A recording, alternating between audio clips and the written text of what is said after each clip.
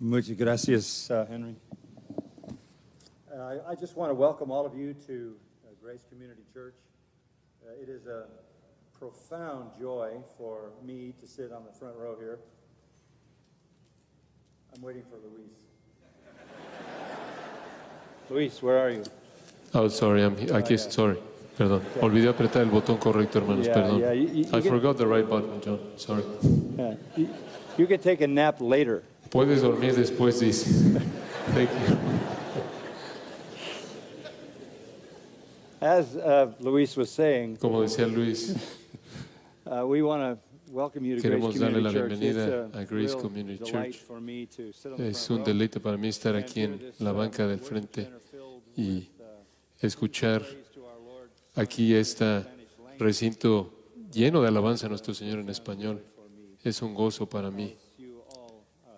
Como ustedes todos lo saben, tenemos un ministerio extenso en el idioma en español. No saben cuántos idiomas hay, salen de este lugar, pero hay muchos. Uno, una realidad muy interesante es que todo domingo el sermón de este púlpito es traducido en árabe y enviado al Medio Oriente y tenemos miles de personas que en el mundo árabe que están oyendo la palabra de Dios todo domingo, semana tras semana y hemos estado haciendo ya por varios años. Entonces la palabra de Dios no tiene límites y habla a toda cultura, a toda sociedad.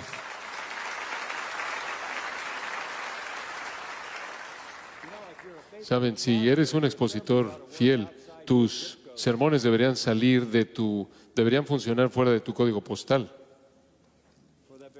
Por esa por la razón misma de que la palabra de Dios cruza el mundo y cumple los propósitos de Dios.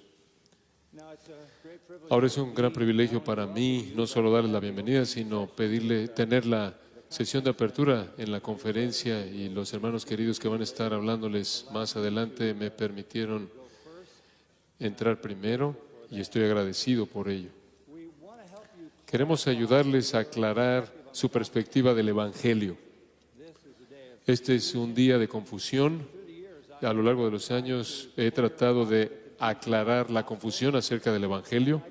Eh, no sabía que iba a pasar tanta parte de mi vida haciendo esto cuando fui un alumno de seminario y en medio de las otras batallas. No pensé que iba a pelear, pasar tanto tiempo en esta batalla, pero mi vida ha sido definida por una serie de libros que han sido escritos para aclarar la- el Evangelio verdadero. Y no para aclarar el Evangelio para los incrédulos, sino aclarar el Evangelio para la iglesia, porque se ha vuelto algo tan confuso.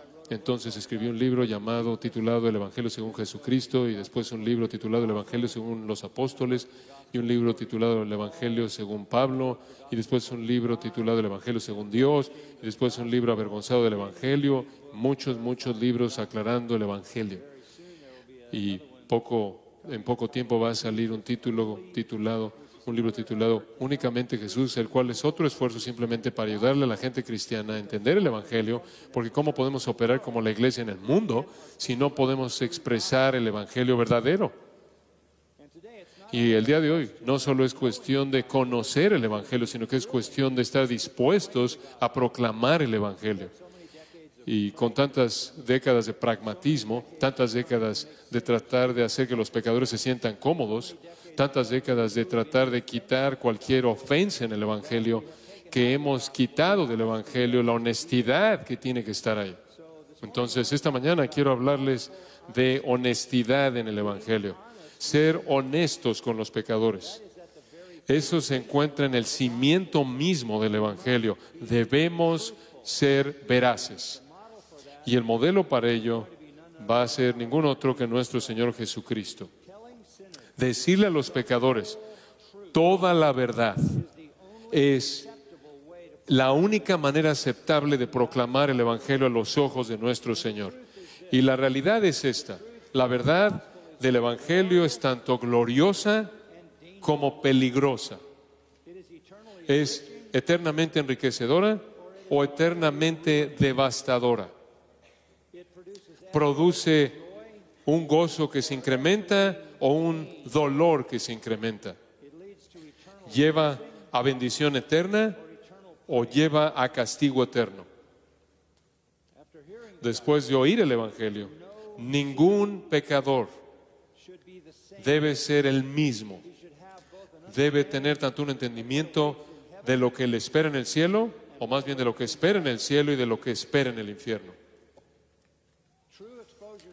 El ser expuesto realmente al Evangelio hace que los pecadores sean mejores o los hace peores. Los lleva a una bendición que se incrementa o a un dolor que se incrementa. Ahora, Pablo resumió esta realidad asombrosa en 2 de Corintios. Quiero comenzar pidiéndoles que me acompañen a 2 de Corintios capítulo 2. Este es un recordatorio muy importante. Escuche el versículo 14, 15 y 16. Mas a Dios gracias, el cual nos lleva siempre en triunfo en Cristo Jesús y por medio de nosotros manifiesta en todo lugar el olor de su conocimiento. Y escuche esto, porque para Dios somos grato olor de Cristo en los que se salvan y en los que se pierden, a estos ciertamente olor de muerte para muerte y aquellos olor de vida para vida. Y para estas cosas, ¿quién es suficiente? Lo que él está diciendo es que nosotros o llevamos a la gente a un gozo que se multiplica o multiplicamos su dolor, su dolor eterno. Esta es honestidad en el Evangelio. Somos tanto una bendición como una maldición.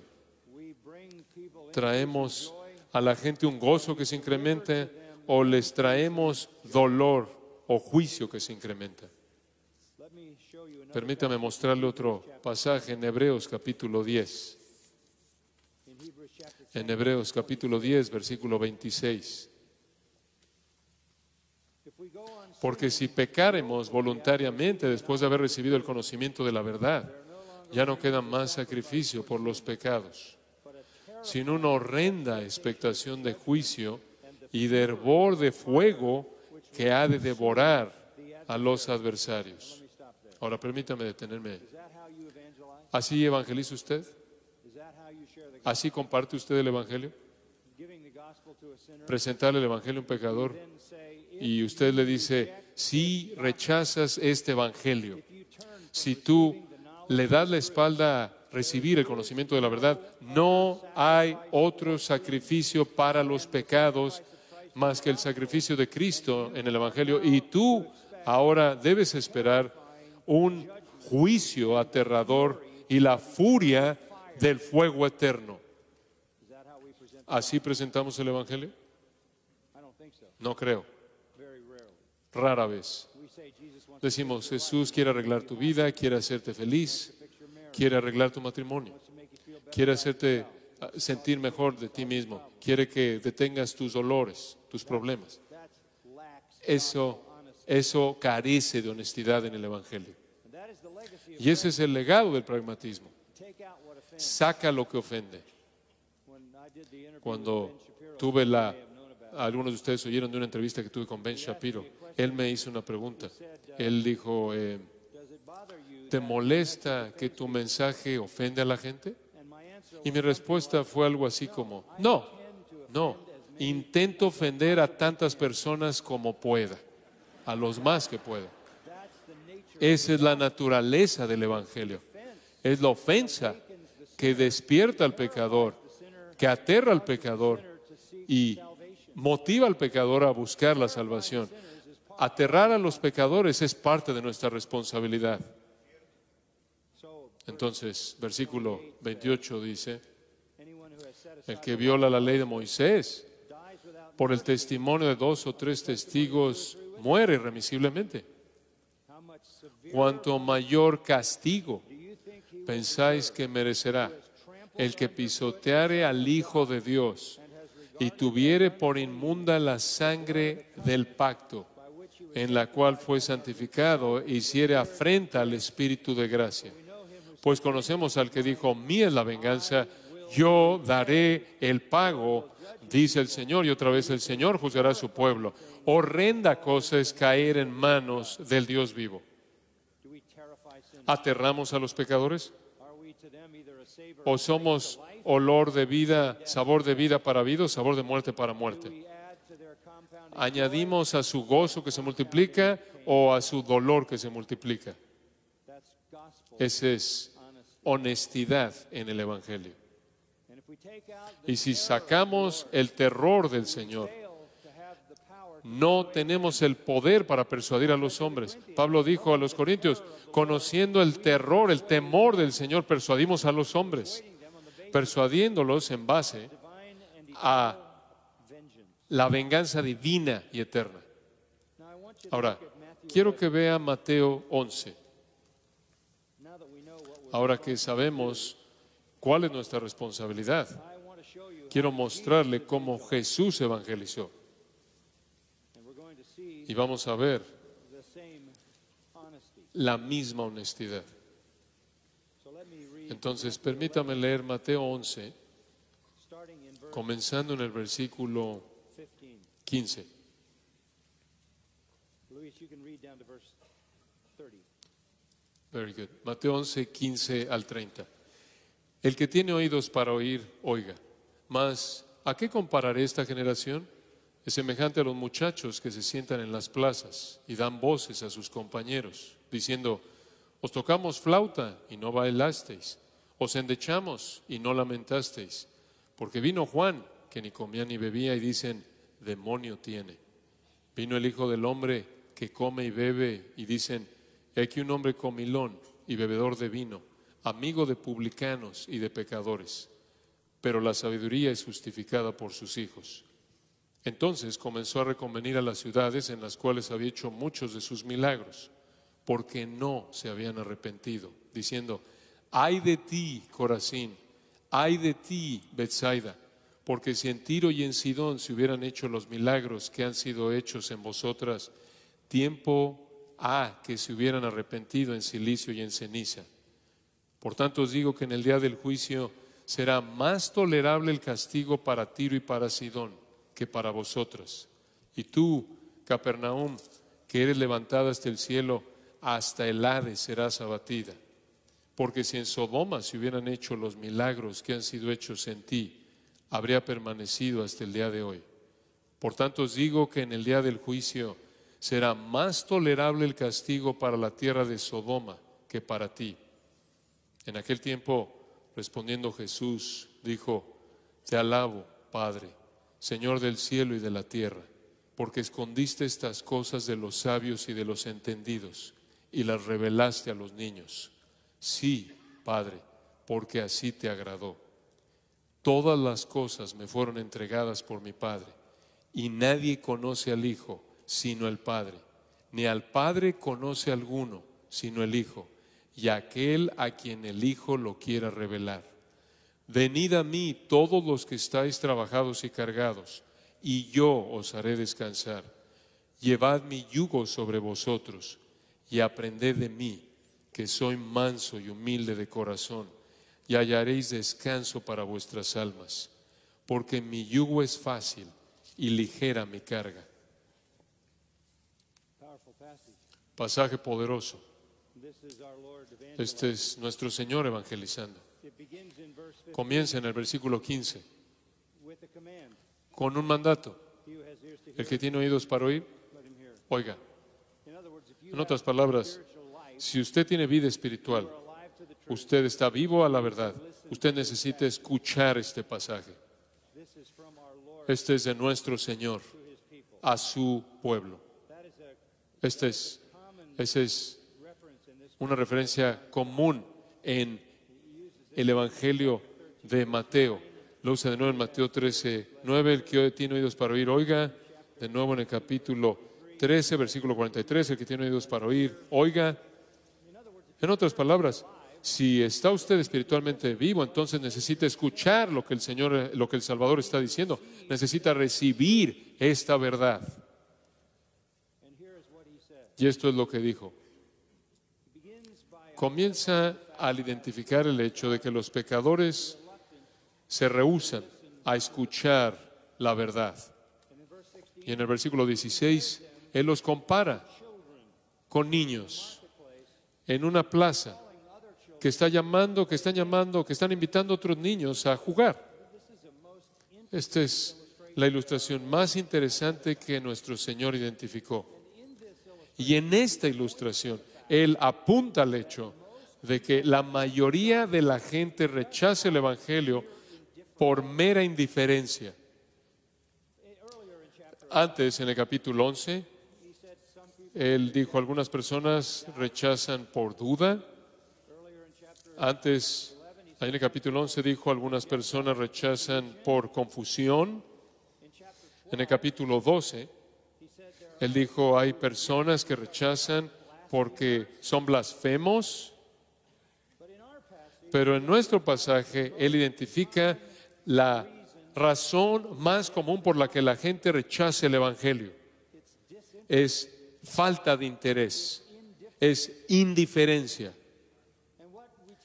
Y lo que tendemos a hacer en la actualidad, en esta sociedad evangélica de la actualidad, es tratar de hacerlos es- estar interesados en base a qué tan bueno es Dios y todas las cosas que va a hacer por ellos.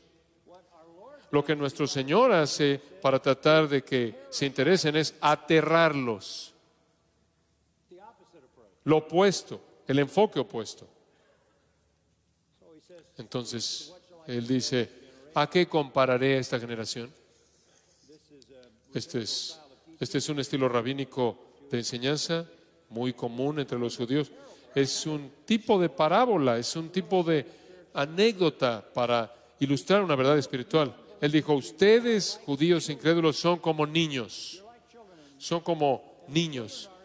Y los niños estaban ahí en las plazas, esta es una ocurrencia común en Israel, y están jugando juegos. Los niños juegan, eh, de que juegan juegos que aprenden del mundo adulto. Entonces están jugando a la boda y están jugando al funeral. Esos eran los dos acontecimientos más dramáticos que se llevaban a cabo en la sociedad judía. Entonces los niños están jugando a la boda y al funeral. En primer lugar, son presentados jugando un juego de funeral. Están invitando a otros niños y les dicen, nos tocamos flauta y no bailasteis. Os endechamos y no lamentasteis. ¿Qué quiere decir él? Tuvimos un juego de boda y estábamos bailando y no quisieron jugar con nosotros. Tuvimos un juego de funeral y, y tocamos una canción muy triste de lamento y no quisieron jugar con nosotros, no lloraron, no quisieron celebrar con nosotros en el juego de la boda y no quisieron celebrar con nosotros en el juego del funeral. Los invitamos ahí en las plazas, las cuales eran en los días antiguos, eran lugar, patios para que los niños jugaran. Agura, el, el lugar, la plaza pública, y los niños jugaban juegos que eran dramáticos en las vidas de sus padres. E invitaban a otros niños a jugar. Estos otros niños eran indiferentes. No se rieron y celebraron. No lloraron y se lamentaron. No jugaron el juego de la risa ni jugaron el juego de la tristeza. Indiferentes de manera obstinada. Esta es la única referencia bíblica en toda la Biblia a juegos de niños. Muy rara, excepcional. Tiene la intención de ilustrar la naturaleza obstinada, indiferente de los pecadores. Y aquí él explica la parábola, versículo 18. Porque vino Juan, se refiere a Juan el Bautista, que ni comía ni bebía. Entonces, él es la ilustración, él era la ilustración del funeral. ¿Cuál era el mensaje de Juan? Arrepentíos, arrepentíos, arrepentíos, arrepentíos. Eh, Él estuvo en el, él, él representaba el juego de la tristeza. Juan vino, que ni comía ni bebía. No jugaron ese juego. Dijeron acerca de Juan el Bautista, demonio tiene. De acuerdo con el registro del Evangelio, Juan tuvo una dieta muy limitada, no comió pan. Lucas 7, 7:33 dice que no tomó vino, vivió en el desierto, no tuvo vida social estuvo aislado y él predicó arrepentimiento y predicó que el Mesías estaba por venir. Y dijeron, demonio tiene. Luke 7:33. Lucas 7:33. Said he was demon possessed. Dijeron que estaba poseído por demonios, que él estaba loco, que él era un problema mental, no arrepentimiento, sino que, se sino que lo ridiculizaron. En lugar de arrepentirse, lo ridiculizaron. Así le respondieron. El segundo predicador fue Jesús. verse 19. Versículo 19. The Son of Man came, Vino el Hijo del Hombre. Y en contraste a, a Juan, él estaba comiendo y bebiendo, porque él era el novio y era el momento para la boda. Y no quisieron acompañarlo tampoco. Dijeron, he aquí un hombre comilón y bebedor de vino, amigo de publicanos y de pecadores. Dijeron, Juan el Bautista era demoníaco. Dijeron, Jesús era satánico. Dijeron, hace lo que hace por el poder de Satanás. Así respondieron al profeta más grande que jamás había vivido y al Hijo de Dios. Ese fue su veredicto. Juan es demoníaco. Jesús es satánico. No querían oír, no querían arrepentirse, no querían creer. Entonces hacen lo que los pecadores siempre hacen, inventan una excusa para su indiferencia al menospreciar al predicador. Para los judíos eran demasiado buenos, se creían demasiado buenos como para menospreciar a un profeta, como eran demasiado buenos como para inclinarse ante un profeta que era demoníaco o postrarse ante un supuesto Mesías, quien era satánico. Estos son los que se creen buenos. Nuestro Señor dice al final del versículo 19, this is a truism. y este es un truismo, esto es axiomático, esta es una verdad que se explica a sí mismo, pero la sabiduría es justificada por sus hijos. El tiempo lo va a confirmar, el tiempo va a mostrar si fue Juan y Jesús los que eran satánicos o si fueron las personas los que lo rechazaron. La sabiduría humana corrupta produce acusaciones falsas en contra de los predicadores verdaderos.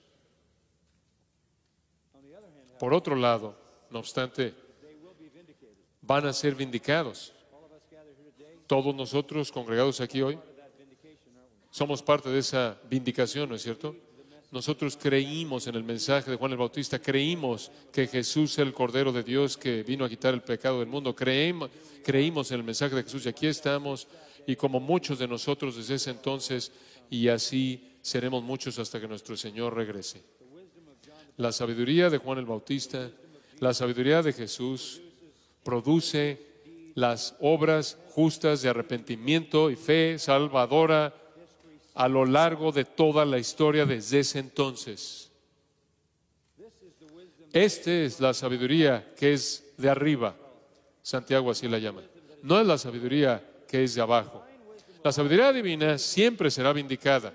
Siempre la iglesia verdadera es una vindicación de Juan el Bautista y Jesús. El veredicto definitivo acerca del Evangelio, del Evangelio de arrepentimiento y fe, el veredicto definitivo acerca del Evangelio no es decidido por aquellos que lo rechazan, sino por aquellos que se arrepienten y creen.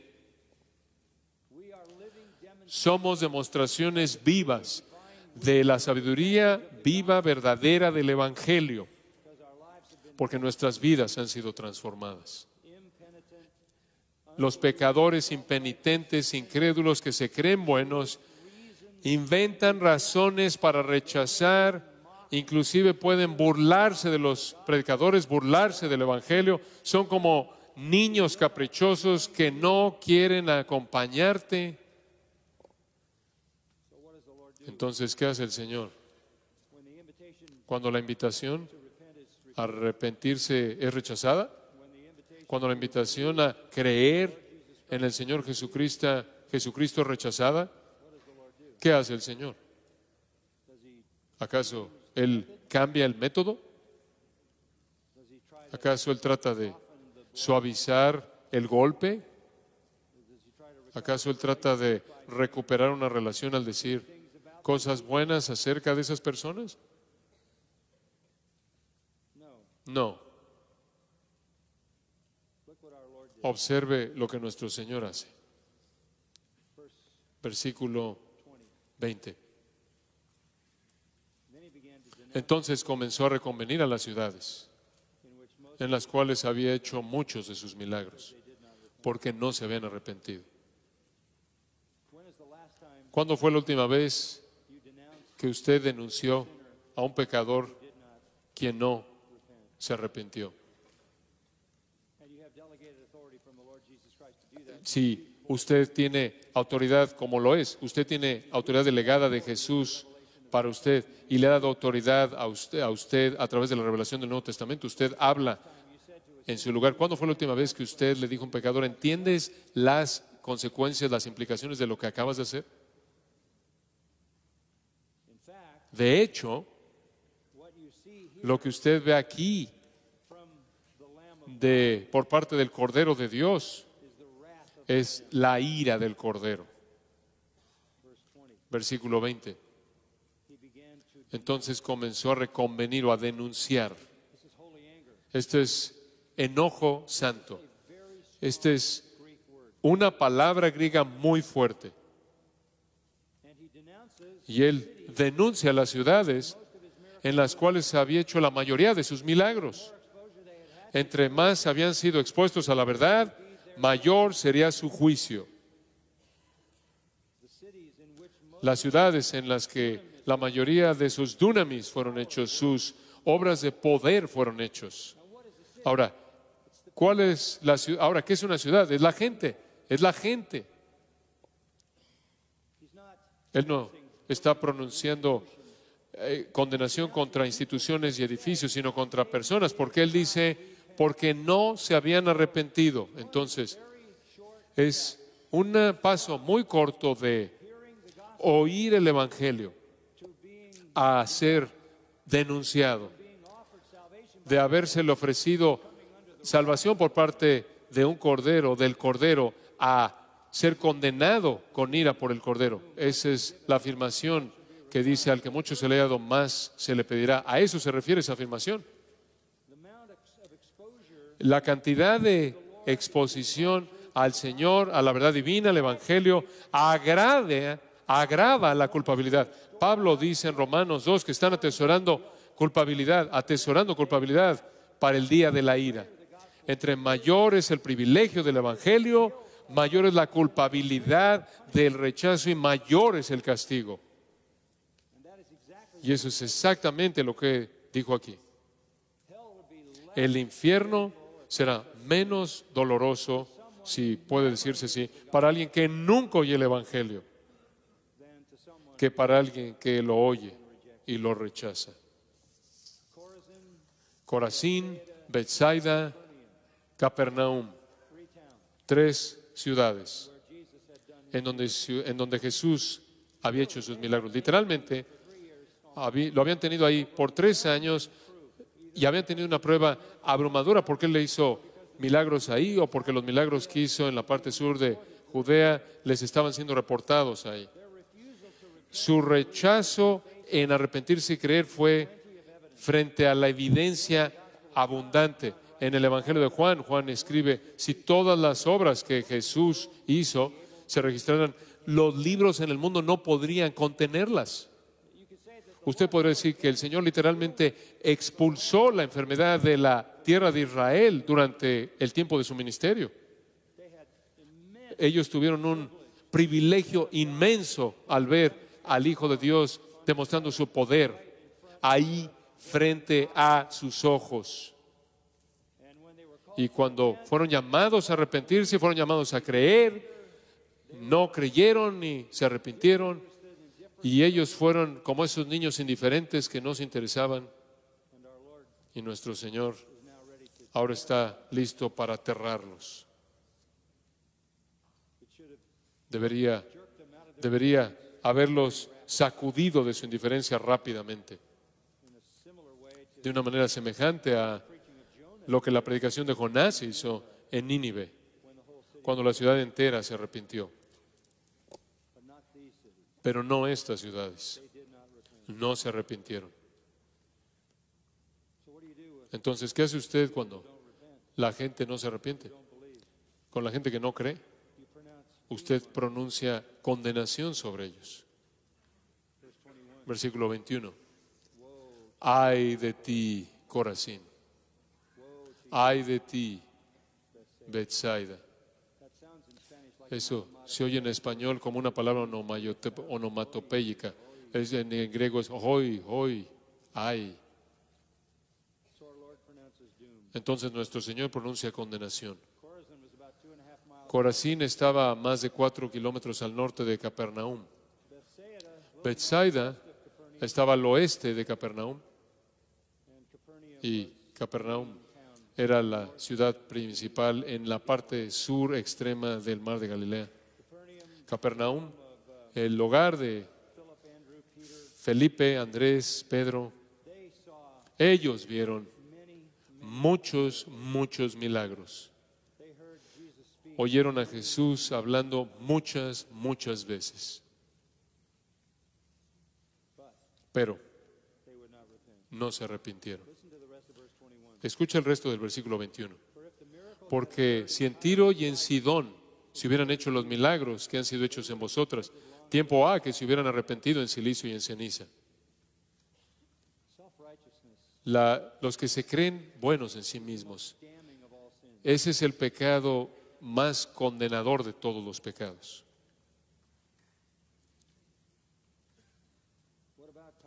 ¿Qué hay acerca de Tiro y de Sidón? Ezekiel 20. Ezequiel 26 al 28, Isaías 23, Sidon are spoken Tiro y Sidón se habla, los menciona el profeta Amós, el profeta Joel, el profeta Jeremías.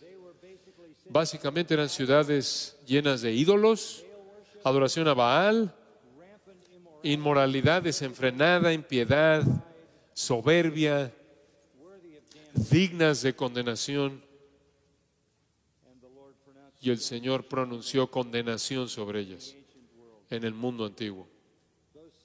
Esas ciudades son remanentes, remanentes de esas ciudades existían en la actualidad, según Mateo 15, 21, él fue ahí y él sin duda alguna pensó en Tiro y Sidón de su día. Tiro y Sidón fueron devastadas, fueron aplastadas y toda persona en esas ciudades fueron consignados al castigo eterno. Si esas ciudades hubieran visto lo que Corazín y Bethsaida vieron, se habrían arrepentido mucho tiempo antes en silicio y ceniza. Esos son símbolos de lloro o símbolos de lamento, de humillación. Lo cual quiere decir esto. Corazín y Bethsaida, los habitantes de Corazín y Bethsaida, sufrirán más en el infierno eterno que. Tiro y Sidón. Tiro y Sidón, escuche, de manera abierta fueron paganos. Corazín y Bethsaida, profesando adorar al Dios del Antiguo Testamento. Pero su infierno será más caliente que el de los paganos. ¿Por qué? Porque al que mucho se le haya dado? ¿qué? Más se le pedirá. La gente necesita ser advertida. Más tolerable para Tiro y Sidón que para ustedes.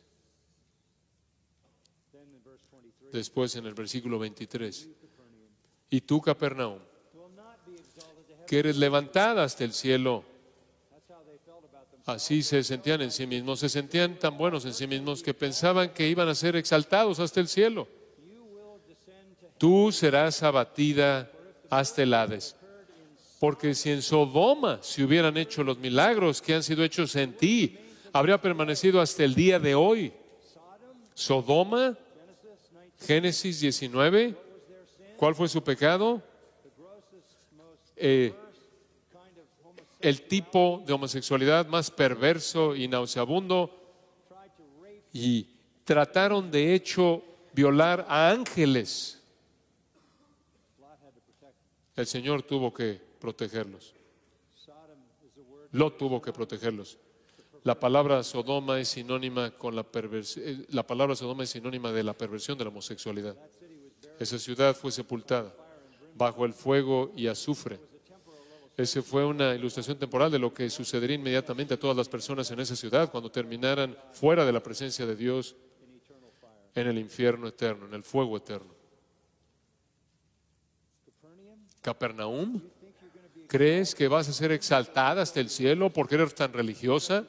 Porque tú dices adorar al Dios del Antiguo Testamento, porque tú dices creerte buena en ti misma, tú vas a tener un infierno más caliente que la, los sodomitas, homosexuales, violadores, perversos, impíos. Es- esos, esos milagros que ocurrieron en Capernaum, si hubieran ocurrido en Sodoma, todavía estarían aquí, porque se habrían arrepentido. Capernaum excedió a Corazán, a Corazín y Bethsaida en privilegio. Sodoma excedió a Tiro y a Sidón en impiedad. Pero las personas más miserables jamás no son los sodomitas, sino las personas de Capernaum. No hay protección en la religión que, en la que la gente se cree buena en sí misma. Ustedes de todas las personas tienen que ver al catolicismo romano a la luz exactamente de esta perspectiva. En el juicio será peor para los más privilegiados. No hay igual en el Antiguo Testamento a la destrucción de Sodoma, a la impiedad de Sodoma, pero la impiedad de Capernaum fue mayor. Rechazar el Evangelio, rechazar a Cristo, trae el juicio más severo. Es lo que acabo de leerles en Hebreos 10:26, de cuánto mayor será el juicio de aquel que haya pisoteado la sangre del pacto. No hay evidencia de que los habitantes de Capernaum se opusieron a Jesús. Realmente no hay evidencia de que lo ridiculizaron. Simplemente no quisieron jugar el juego. Quedaron sorprendidos por él. Quedaron fascinados por él. Quedaron impresionados por sus palabras. Eran religiosos. Eran respetables. Se creían buenos en sí mismos. Estaban satisfechos. Pero no fueron movidos por el Evangelio. La gente respetable, religiosa, expuesta a la verdad de Jesucristo y el Evangelio, que no se quiera arrepentir, sufrirá el juicio más severo en el infierno. Esa es honestidad en el Evangelio. Esa es la verdad. El infierno será peor para la gente religiosa que se cree buena en sí misma que para los sodomitas. Entonces, ¿qué aprendemos acerca de la honestidad del Evangelio? ¿Involucra un ruego compasivo? ¿Quieres jugar? ¿Quieres acompañarnos? ¿Quieres arrepentirte? ¿Quieres creer? ¿Involucra una advertencia contundente? Acabamos de oír eso. Pero también involucra una promesa de confianza. Observe el versículo 25. At that time, En aquel tiempo, tan importante, el Señor necesitaba decir algo para ayudarnos a entender esto. Y Él dice esto, al Padre, te alabo, Padre, Señor del cielo y de la tierra, porque escondiste estas cosas de los sabios y de los entendidos y las revelaste a los niños.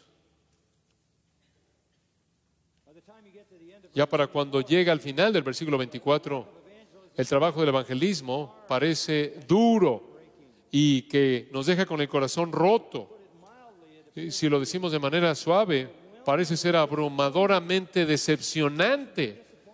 Debió haber sido decepcionante para nuestro Señor, que había hecho todo esto durante tres años y ser rechazado y menospreciado y le dieron y le entregaron a los romanos y lo ejecutaron toda, toda la presentación gloriosa del Evangelio, todas las obras milagrosas, todas las palabras gloriosas, palabras divinas que él habló. Y eso, todo eso es rechazado. Esa es la verdad, honestamente. Eso es lo que Dios le dijo a Isaías. Nadie te va a oír, nadie va a escuchar, nadie va a creer. ¿Por qué? Escuche con atención. Porque la salvación es un acto de Dios. La salvación es un acto de Dios. Entonces, ¿qué dice usted cuando usted fielmente predique el Evangelio y presenta un ruego compasivo y presenta una advertencia contundente y la gente no responde? ¿Qué dice usted? Dice usted, te alabo, Padre, Señor del cielo y de la tierra, porque escondiste estas cosas de los sabios y de los entendidos y las revelaste a los niños. Sí, Padre, porque así te agradó. ¿Qué está diciendo? Él está diciendo, la salvación es un acto de Dios. En el momento mismo, cuando la respuesta típica de los pecadores estaba siendo experimentada de nuevo por nuestro Señor mismo, no hubo arrepentimiento, no hubo fe, una respuesta típica de la nación entera de Israel y el mundo. Jesús no está derrotado, Él no está desanimado, sino que más bien tiene confianza y tiene confianza en esto, en el propósito y plan de su Padre. Alabanza es su respuesta, no desánimo. Cuando el Evangelio es rechazado? ¿qué hace Él? Él alaba, porque es Dios quien determina esconder la verdad y a quien Él quiere revelar la verdad.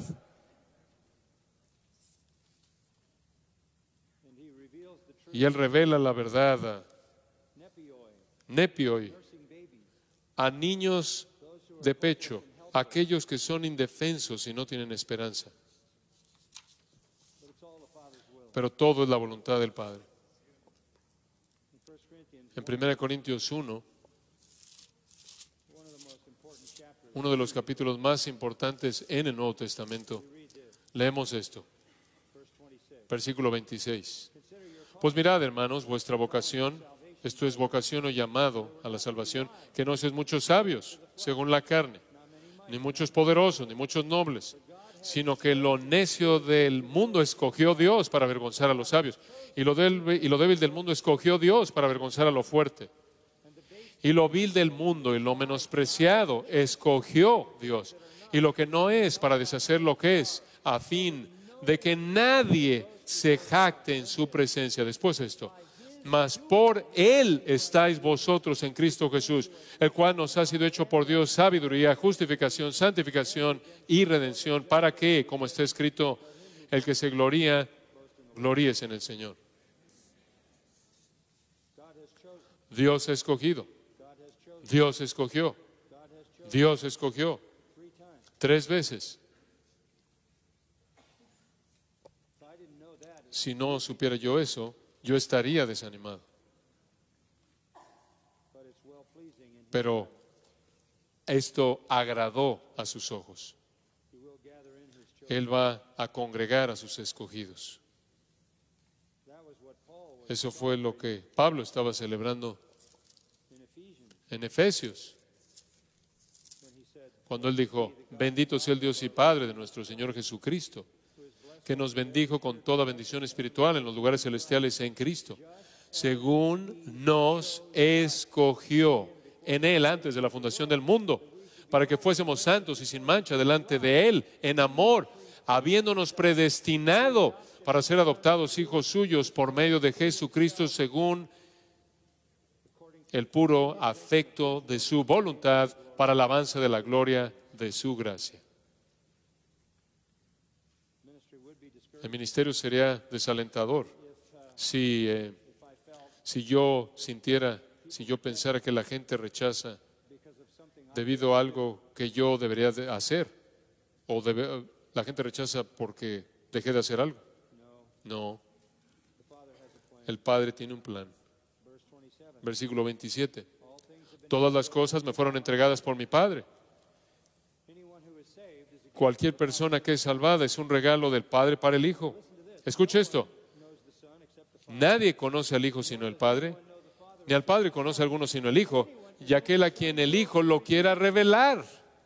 Escuche, la gente que está siendo salvada son aquellos que son escogidos por Dios y los que aquellos a quienes el Evangelio y el Salvador en el Evangelio es revelado por obra divina.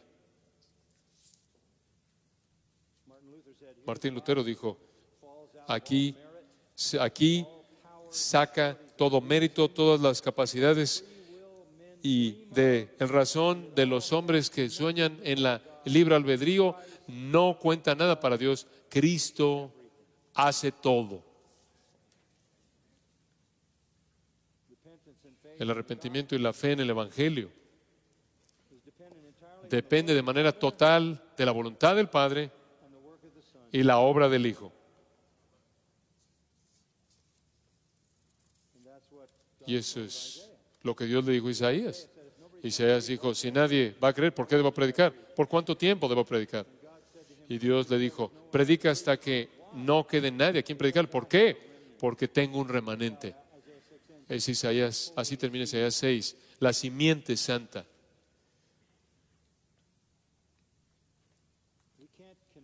No podemos convencer de pecado, ni convencer, ni convertir a los pecadores. Solo Dios puede. Entonces, ¿por qué vamos a cambiar el mensaje? Después, sin titubeo, sin explicación y sin conciencia de sí mismo ni contradicción.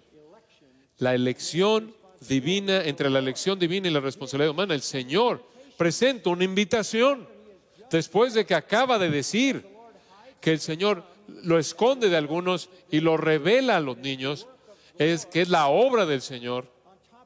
Encima de eso, Él dice en el versículo 28, venid a mí todos los que estáis trabajados y cargados, y yo os haré descansar.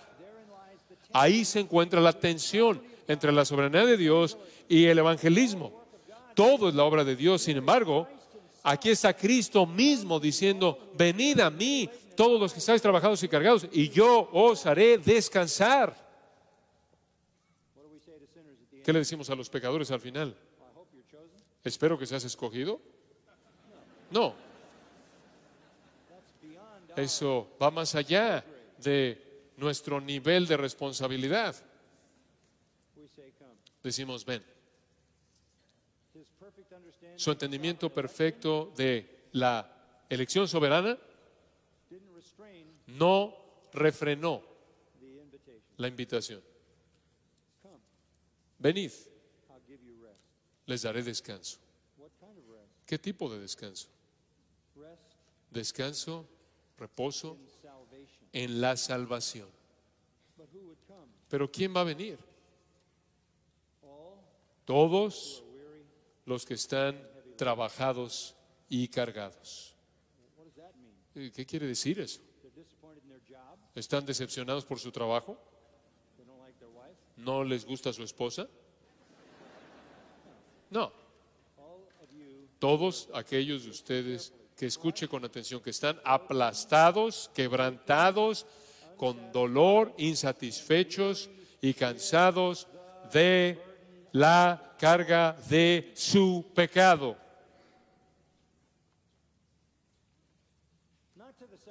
No a los que se creen buenos en sí mismos, que piensan que son sabios e inteligentes, no para los que están satisfechos en sí mismos, los niños que rechazan el arrepentimiento y la fe, sino a los que están desesperados, que han agotado todos sus recursos, no tienen, no les queda nada. Su pecado los está, su pecado ha aplastado sus vidas.